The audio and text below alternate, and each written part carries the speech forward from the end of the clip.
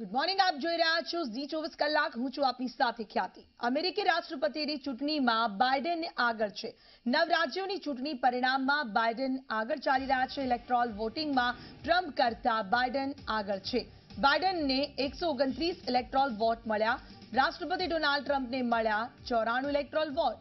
શરૂઆતના વલણોમાં ટ્રમ્પથી આગળ નીકળી ગયા બાઇડેન અમેરિકાના તમામ પચાસ રાજ્યોમાં રાષ્ટ્રપતિ પદ માટે મતદાન યોજાયું, જેમાં ડેમોક્રેટિક પાર્ટીના ઉમેદવાર જો બાઇડને અને રિપબ્લિકન પાર્ટીના ઉમેદવાર તેમજ અમેરિકાના રાષ્ટ્રપતિ ડોનાલ્ડ ટ્રમ્પ આગામી રાષ્ટ્રપતિ કોણ બનશે તે માટે પરિણામો પણ આવી રહ્યા છે. ભારત માટે પણ અમેરિકાના રાષ્ટ્રપતિની ચૂંટણી ખૂબ જ મહત્વની છે, જેનું પહેલું કારણ મોટી સંખ્યામાં ભારતીયો અમેરિકામાં વસવાટ કરે છે અને અમેરિકાના ભાવિ રાષ્ટ્રપતિની નીતિઓ ભારતને અસર કરે છે. અમેરિકામાં વસતા એનઆરઆઈ, આઈટી કંપનીઓમાં નોકરી કરે છે, ગુજરાતીઓએ પોતાની હોટલ અને સ્ટોર ચલાવે છે. અમેરિકામાં દર વર્ષે જેટલા એચ વન બી વિઝા આપવામાં આવે છે, તેમાંથી સિત્તેર ટકા ભારતીયોને મળે છે.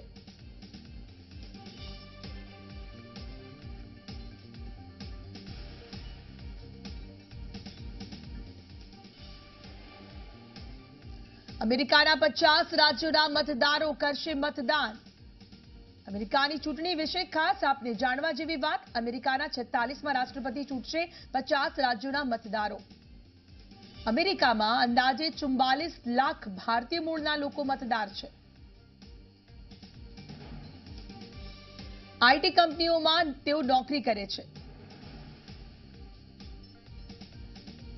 અમેરિકામાં એનઆરઆઈ શું કરે છે તો અમેરિકામાં હોટેલો અને સ્ટોર તેઓએ ખોલ્યા છે. અમેરિકાની હોસ્પિટલોમાં અને દવા કંપનીઓમાં કામ કરે છે એનઆરઆઈ. અમેરિકામાં દરેક ક્ષેત્રમાં થતા સંશોધનોમાં કામ કરે છે અમેરિકામાં વસતા ભારતીય. અમેરિકામાં શ્રમ અને પરિવહન સાથે સંકળાયેલા વ્યવસાયોમાં પણ તેઓ કામ કરે છે. અમેરિકા દર વર્ષે જેટલા એચ વન બી વિઝા આપે છે, તેમાંથી સિત્તેર ટકા ભારતીયોને મળે છે વિઝા આઈટી કંપનીઓમાં આ તમામ ભારતીય મૂળના એનઆરઆઈઝ ત્યાં નોકરી કરે છે. અર્થવ્યવસ્થા અંગે ટ્રમ્પની નીતિ શું? તો દસ મહિનામાં એક કરોડ નોકરીઓ, દસ લાખ નાના ઉદ્યોગો સ્થાપવાનું વચન.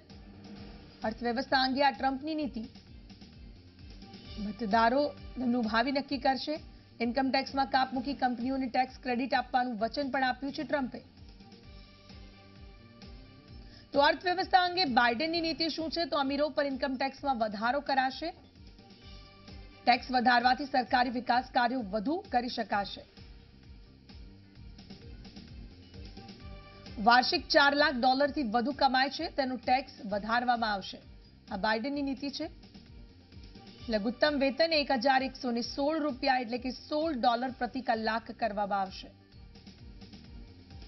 અત્યારે અમેરિકામાં પ્રતિ કલાક સાત પોઈન્ટ પચીસ ડોલર એટલે કે પાંચસો ને ઓગણચાલીસ રૂપિયા વેતન મળે છે.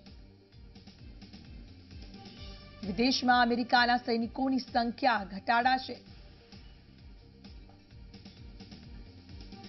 સૈન્ય ખર્ચમાં વધારો કરવામાં આવશે.